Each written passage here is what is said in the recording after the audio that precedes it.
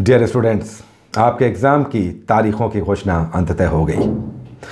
दरअसल दो दिनों के लिए मैं शहर से बाहर था और उस दौरान मुझे पता चला कि चौंसठवीं बीपीएससी के पीटी के एग्ज़ाम की तारीख घोषित हो गई है। तो अब एग्ज़ाम 16 दिसंबर को संपन्न होगा। आप इसे एक बिल्कुल डेडलाइन मानकर चलें। हालाँकि आयोग ने इसे एक टेंटेटिव डेट माना है, लेकिन हम इसे एक फिक्स डेट मानकर चलेंगे। कैसा लग रहा है तारीखों की घोषणाओं को सुनकर? चूँकि तैयारी कितनी ही अच्छी हो, जब भी एग्ज़ाम के डेट्स आते हैं, ऐसा लगता है जैसे तैयारी रखी रह गई। चलिए, आज थर्टी क्वेश्चंस को हम लोग कर रहे हैं और भी बहुत कुछ करेंगे। आपके जो सिलेबस हैं टेन टॉपिक्स के, वो इसके बाद आएँगे।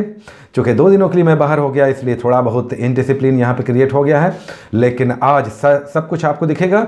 अभी हम लोग थर्टी क्वेश्चंस कर रहे हैं, इनमें अधिकतर प्रश्न ऐसे हैं, जिन्हें हम लोगों ने टॉपिक्स में किया है। हम लोगों ने जो टॉपिक्स किए हैं, उससे अधिकतर प्रश्न मैक्सिमम क्वेश्चंस उठाए गए हैं। तो आप इन्हें अच्छे से बनाएँ। मेरा मानना है कि पंद्रह से कम नहीं होना चाहिए। आपको दरअसल 20 प्लस करना होगा, लेकिन 15 के आसपास आप करते हैं तो आप डेंजर जोन में नहीं हैं, हम इसे कहेंगे। चलिए शुरुआत करते हैं आज के इस पहले क्वेश्चन को। इससे पहले एल के एस यानी लक्ष्मण श्रीवास्तव जी के बारे में हम कहना चाहेंगे कि करंट अफेयर्स पर उनकी सक्रियता बहुत अच्छी है। तो वेल डन लक्ष्मण। आपके जो करंट अपडेट्स हम देखते हैं, उससे मुझे बहुत अच्छा लगता है। और सारे छात्रों के लिए भी ये एक प्रेरणा प्रेरणादायी, हम कहेंगे एक स्टेप है। इसी तरह से आप अब करंट अफेयर्स को अपडेट करते रहें। एग्ज़ाम में आपको इसका बड़ा लाभ मिलने वाला है। लक्ष्मण, जो एल के एस के नाम से हमें कमेंट्स भेजते रहते हैं। चलिए शुरुआत करते हैं आज के इस थर्टी क्वेश्चंस को। पहला क्वेश्चन देखते हैं, किस तरह का है? दरअसल, पहला क्वेश्चन यहाँ पे लिया गया है। एक एक स्टेटमेंट है, बहुत इंपॉर्टेंट है। भारत में विद्रोह फैलाने के लिए बहादुर सिपाहियों की ज़रूरत है। तनख्वाह, मौत, इनाम, शहादत, पेंशन, आज़ादी। किस मैगज़ीन ने ये विज्ञापन छापा था? एक, दो, तीन, चार, पाँच आपको आंसर बताने हैं। तो इसका आंसर हो जाएगा ए, गदर। गदर की स्थापना लाला हरदयाल ने 1913 में सैन फ्रांसिस्को में की थी। भारत से बाहर ये सभी राष्ट्रीय आंदोलन से जुड़े हुए संगठन और इनके नेता थे। गदर बहुत इंपॉर्टेंट है, इसे हमें ध्यान में रखना चाहिए। तो ये दरअसल गदर नाम की पत्रिका निकलती थी चार भाषाओं में।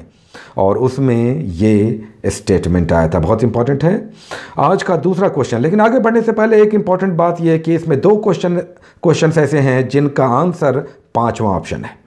चलिए आज का दूसरा क्वेश्चन देखते हैं। सेवाग्राम, किसका रेसिडेंस और आश्रम था? ए बी सी डी या फिर। देखिए, यहाँ पर डी डी दो ऑप्शन आ गया है। आप एक को सी और चौथे को डी माने या फिर ई तो इसका आंसर हो जाएगा महात्मा गांधी। दरअसल डांडी मार्च के बाद महात्मा गांधी जब साबरमती आश्रम से निकले तो उन्होंने शपथ लिया था कि वे लौट कर तभी आएँगे जब देश आज़ाद हो जाएगा। और इसके बाद उन्होंने महाराष्ट्र में सेवाग्राम को अपना रेसिडेंस बनाया। जिसके लिए भूखंड जो ज़मीन था, वो महात्मा गांधी के पाँचवें पुत्र कहलाने वाले जमनालाल बजाज ने इन्हें दान किया था। आज का दूसरा तीसरा प्रश्न। एक हज़ार से छः सौ ईस्वी पूर्व, यानी बीसी 1000 टू 600 बीसी के बीच, सभी उत्तर वैदिक, लेटर वैदिक जो बुक्स हैं, ये कहाँ लिखे गए? लेटर वैदिक, उत्तर वैदिक काल के ग्रंथ। ए बी सी डी या फिर ए तो इसका आंसर हो जाएगा सी, उत्तर गंगा मैदान में। उत्तर वैदिक ग्रंथ का मतलब है ऋग्वेद के बाद के ग्रंथ। इनमें मुख्य रूप से तीन वैदिक ग्रंथ, उसके बाद अरण्यक, उपनिषद, स्मृति ग्रंथ, ये सारे उत्तर वैदिक ग्रंथ कहलाते हैं। आज का तीसरा प्रश्न, चौथा प्रश्न माफ़ करें। दोनों गोलार्धों में किस डेट को रात और दिन बराबर होते हैं? In both hemispheres day and nights are equal in which date A B C D या फिर ए तो इसका आंसर हो जाएगा ए इक्कीस मार्च और तेईस सितंबर। दरअसल इन डेट्स को जो सन रेज है, वो डायरेक्ट इक्वेटर पे पड़ता है और इक्वली सभी जो दोनों हेमिस्फेयर है, उसमें डेट्स इक्वल रात और दिन बराबर होते हैं। पांचवा क्वेश्चन, इसे इक्विनॉक्स कहते हैं, याद रखें। इक्विनॉक्स यानी विषुव। पांचवा क्वेश्चन निम्नलिखित में, किस सदन, किस हाउस का जो चेयरमैन है, वो उसका मेंबर नहीं होता? लोकसभा, राज्यसभा, विधानसभा, विधान परिषद या फिर इनमें से कोई नहीं? हाउस का वो चेयरमैन है, लेकिन उसका मेंबर नहीं होता। तो इसका आंसर हो जाएगा बी राज्यसभा। राज्यसभा के चेयरमैन वाइस प्रेसिडेंट होते हैं, जो राज्यसभा के मेंबर नहीं होते। याद रखें कि राज्यसभा का मेंबर बनने के लिए, सदस्य बनने के लिए मिनिमम एज थर्टी है और छः साल के लिए राज्यसभा के एम चुने जाते हैं। सबसे ज़्यादा राज्यसभा के सीट उत्तर प्रदेश से आते हैं, जबकि बिहार में राज्यसभा की सोलह सीटें हैं। राज्यसभा की टोटल संख्या 250 है। 50 हो सकती है, अभी 245 है। छठा क्वेश्चन, किस राष्ट्रवादी को बिहार विभूति के नाम से जाना जाता है? ए बी सी डी या फिर ए तो इसका आंसर हो जाएगा डी, अनुग्रह नारायण सिन्हा, जो बिहार के पहले उप मुख्यमंत्री और पहले वित्त मंत्री भी थे। आज का सातवां प्रश्न, विश्व का सबसे ऊँचा waterfall highest waterfall Angel waterfall किस नदी पर स्थित है? ए बी सी डी या फिर ई e? तो इसका आंसर हो जाएगा रियो कैरोनी नदी। दरअसल यहाँ पर एक और नाम भी आप ध्यान रखें, रियो कैरोनी बहुत बड़ी नदी है वेनेजुएला की। ये वेनेजुएला में है और इसकी एक सब्सिडियरी है, चूरन रिवर। दरअसल ये उस पर स्थित है, लेकिन वो सब्सिडियरी रिवर रिवर है मेन रिवर रियो कैरोनी नदी है। तो चूरन रिवर भी आप ध्यान रखेंगे, लेकिन मुख्य रूप से ये रियो कैरोनी नदी के रूप में क्वेश्चंस के रूप में दिखाई देते हैं। आज का आठवां क्वेश्चन हरित हरित क्रांति ग्रीन रिवोल्यूशन का शब्द का प्रयोग सबसे पहले किसने किया था? First time Norman Borlaug Swaminathan Pattinson Korean या फिर इनमें से कोई नहीं। तो इसका आंसर हो जाएगा ई नन ऑफ़ दीज दरअसल विलियम गॉड ने सो अठा, उन्नीस सौ अड़सठ में इस शब्द का सबसे पहले अमरीकी थे। इस शब्द का प्रयोग किया था ग्रीन रिवॉल्यूशन यानी उत्पादन को तेज़ी से कैसे बढ़ाया जाए। नवा शेयर बाज़ार, स्टॉक मार्केट में शेयरों की खरीद बिक्री के लिए कौन सा अकाउंट खुलवाना पड़ता है?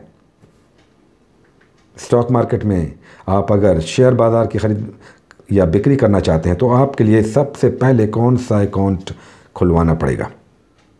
ए बी सी डी या फिर तो इसका आंसर हो जाएगा डी डी मैट अकाउंट।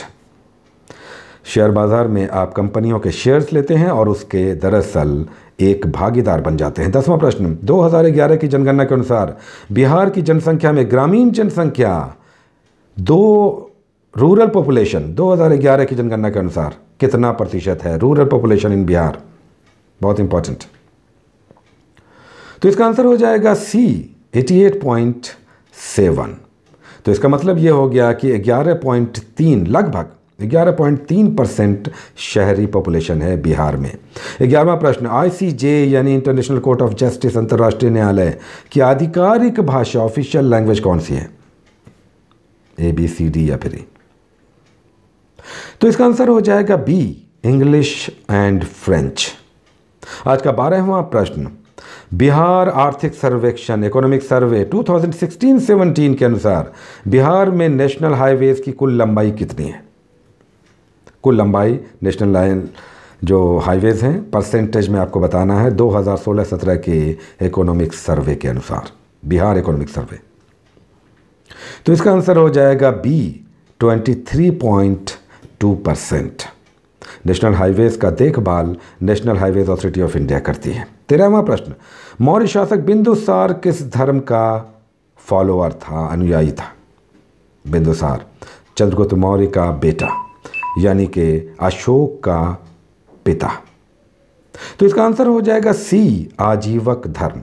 दरअसल ये एक विधर्मी धर्म आप कह सकते हैं कि नास्तिक धर्म था, आजीवक, जिसका छठी शताब्दी में, जिसकी स्थापना मक्खली गोशाल ने की थी। ये बौद्ध धर्म, जैन धर्म का विरोधी संप्रदाय था। आजीवक धर्म बिमिसार। छठी शताब्दी ईस्वी पूर्व बीसी में मक्खली गोशाल ने इसकी स्थापना की थी। चौदहवा प्रश्न, मास्टर ग्लैंड कहलाने वाला पिट्यूटरी ग्लैंड मस्तिष्क में कहाँ स्थित होता है? ए, बी, सी, डी या फिर trachea, sella turcica Henle loop, pons, Varolii में, या फिर इनमें से कोई नहीं। तो इसका आंसर हो जाएगा बी सेला टर्सिका दरअसल अग्र मस्तिष्क में, ब्रेन के आगे के भाग में, ये गड्ढा होता है सेला टर्सिका उस गड्ढे में एक हम कहेंगे कि डीप ब्रेन में, वहाँ पर सेला टर्सिका गड्ढे में ये मास्टर ग्लैंड उपस्थित होता है। पंद्रहवा प्रश्न, आज़ाद हिंद फौज के सैनिकों को को गिरफ़्तार कर अंग्रेज़ों ने उस पर मुकदमा चलाया लाल किले पर। इन पर फांसी दे दी गई थी, जिसमें मेजर ढिल्लो शहनवाज और मेजर सहग, सहगल थे। इन तीनों पर मुकदमा चला और इन्हें फांसी की घोषणा दरअसल इन्हें फांसी की सज़ा दे दी गई थी।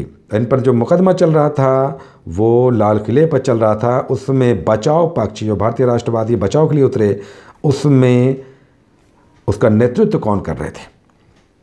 इनमें से कौन थे? आज़ाद हिंद फौज के गिरफ़्तार सैनिकों के समर्थन में। तो इसका आंसर हो जाएगा डी भूला भाई देसाई। दरअसल भारत के जितने भी बड़े वकील थे, जवाहरलाल नेहरू, राजेंद्र प्रसाद भोला भाई देसाई, इन लोगों ने मिलकर इस मुकदमे को लड़ा था, जिसका नेतृत्व भोला भाई देसाई कर रहे थे। 1945 में ये मुकदमा लाल किले पर चला था। फांसी की सजा हो गई थी, हालाँकि बाद में ये कैंसिल हो गया। सोलहवा प्रश्न, बिहार नाम का सबसे पहले उल्लेख कहाँ मिलता है? फ़र्स्ट टाइम, बिहार शब्द। तो इसका आंसर हो जाएगा ए, तबक़ात नासरी। मिनहाज सिराज की बुक तबक़ात नासरी, जो थर्टीन सेंचुरी की एक पर्शियन बुक है, उसमें सबसे पहले विहार के लिए बिहार शब्द का प्रयोग मिलता है। मध्यकाल में विहार बिहार बन गया और तब से ही ये बिहार है। सत्रहवा प्रश्न, निम्नलिखित को मैच करना है, आपको बताना है कि ये कौन सा मैचिंग सही है। आप इसमें पॉज करके टाइम ले लें। आपको बुक्स एंड ऑथर्स के दिए गए थे टॉपिक्स तो इसका आंसर हो जाएगा सी, तीन, दो, चार, एक।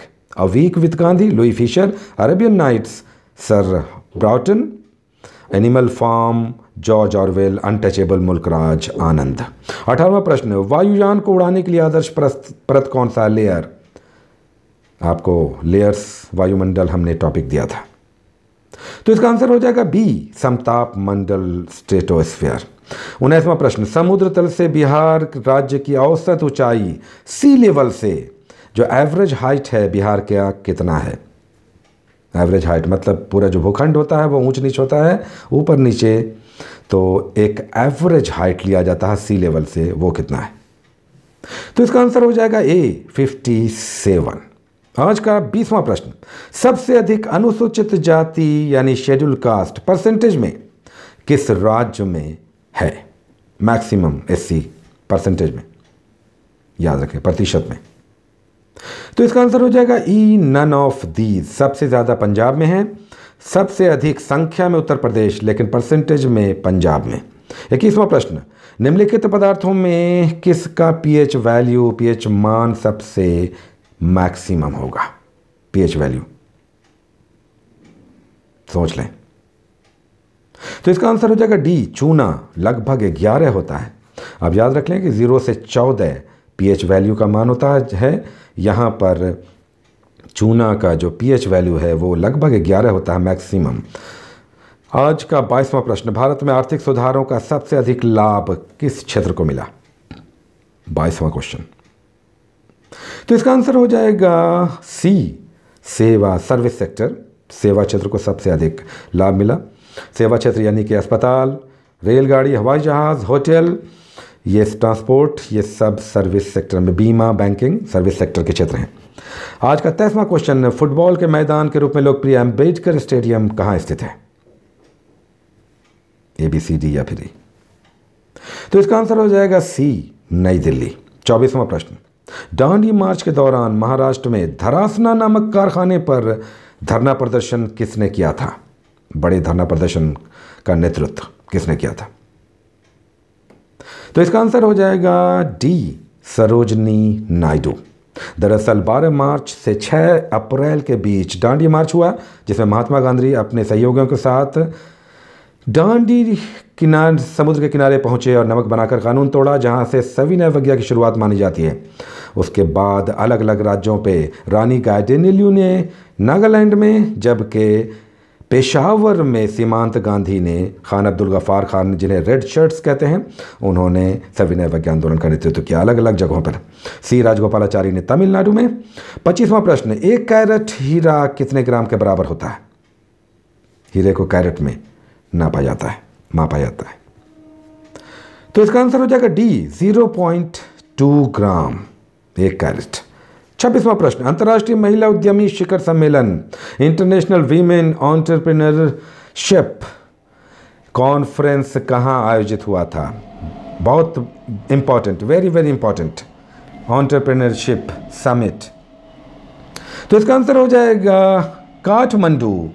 दरअसल इसका हेडिंग था equality begins with economic empowerment इसका जो थीम था ये हेडलाइन ध्यान में रखना चाहिए। कई बार हेडलाइन पूछ दिए जाते हैं थीम पूछ दिया जाता है तो ये थीम था equality begins with economic empowerment यहाँ पर सत्ताईसवां क्वेश्चन आ गया है। जकार्ता एशियन गेम में गोल्ड मेडल जीतने वाले अमित पांगल किस खेल के उभरते हुए खिलाड़ी हैं? बहुत सुर्खियों में रहे हेडलाइंस में ये रहे, अमित पांगल गोल्ड मेडल इन्होंने जीता है किस खेल में? तो इसका आंसर हो जाएगा डी मुक्केबाजी।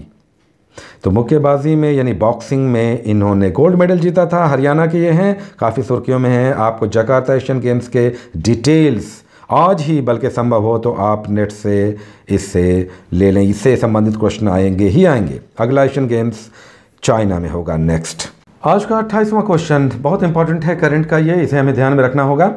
पानिनी भाषा प्रयोगशाला का उद्घाटन हाल ही में कहाँ किया गया है? आपको नाम बताना कि यह स्थान कहाँ है, कहाँ पर इसका उद्घाटन किया गया है। Panini language lab. तो इसका आंसर हो जाएगा बी, मॉरिशस। मॉरिशस की राजधानी पोर्ट लुइस में हमारी विदेश मंत्री सुषमा स्वराज गई थी। विश्व हिंदी सम्मेलन में भाग लेने के लिए और वहाँ पर हिंदी सीखने के लिए एक लैंग्वेज लैब इस्टेब्लिश किया गया है ताकि वहाँ के लोग हिंदी को और अच्छे रूप से, शुद्ध रूप से सीख सकें। तो इंपॉर्टेंट है, आप जान लें कि पिछले सितंबर महीने में विश्व हिंदी सम्मेलन का पोर्ट लुइस में आयोजन किया गया, जो दरअसल पहली बार 1975 में नागपुर में आयोजित हुआ था और अब 2021 में यह मध्य प्रदेश में आयोजित होगा। विश्व हिंदी दिवस 10 जनवरी को मनाया जाता है, जबकि 14 सितंबर को नेशनल हिंदी डे मनाया जाता है, राष्ट्रीय हिंदी दिवस। उनतीसवां क्वेश्चन, पहला बिम्स्टेक, वेरी वेरी इंपॉर्टेंट।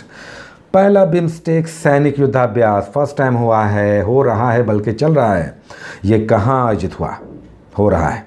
अभी ये चल रहा है, दो दिनों पहले ये शुरुआत इसकी हुई है। ए बी सी डी या फिर ई e.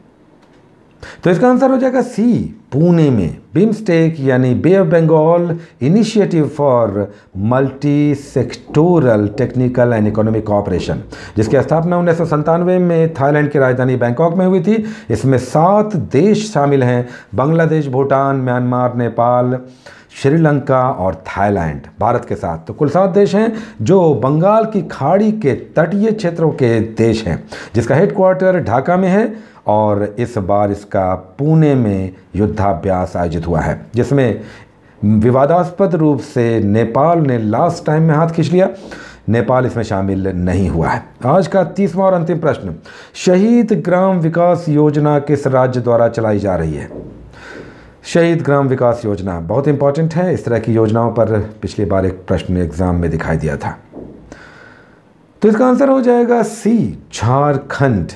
झारखंड में जो सैनिक शहीद सैनिक हैं, उनके गाँव को अब विकास करने के लिए इस तरह की योजना का शुभारंभ किया गया है झारखंड में। तो ध्यान रखेंगे करंट अफेयर्स आपको लगातार करने हैं अगस्त से लेकर एग्ज़ाम होने तक। तो आज के ये थर्टी क्वेश्चन यहीं पर रोकेंगे। अगर आपको कहीं पर कोई भी क्वेश्चन करना है तो आप अपने कमेंट बॉक्स में ज़रूर क्वेश्चन करें। उम्मीद है कि आपको ये सेट पसंद आया होगा। आपसे यहीं पे विदा लेंगे। इस तरह के सेट्स आपको लगातार बनाते रहना है।